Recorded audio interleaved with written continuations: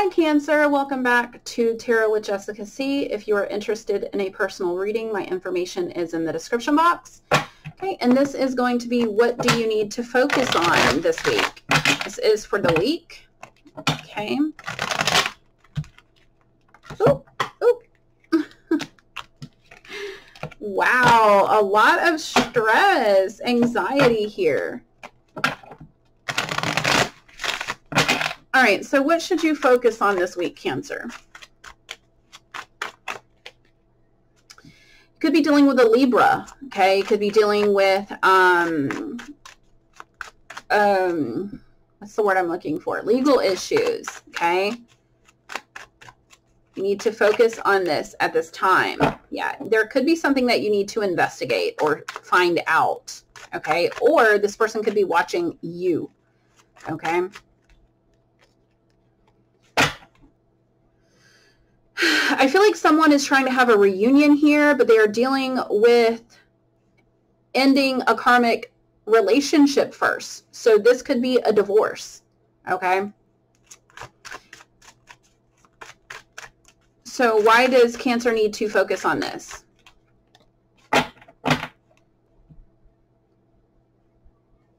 Spirit is wanting you to know this is why this person has been cold and detached to you okay? Or this is why this person is cold and detached.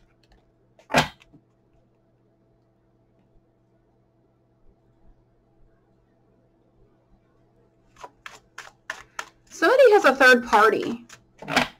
The information, the downloads that I'm getting is that you could be a cancer and you could have a spouse that is investigating getting a divorce because they have a cold they have a third party and this is why they've been cold and detached to you.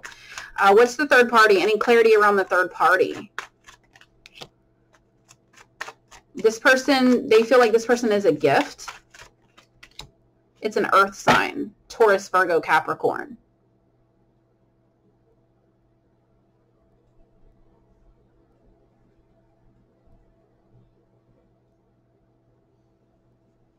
Yeah, they were they had a renewal together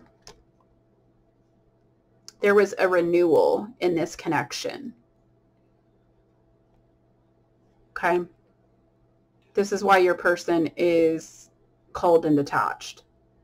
This is what you need to focus on because I feel like spirit is trying.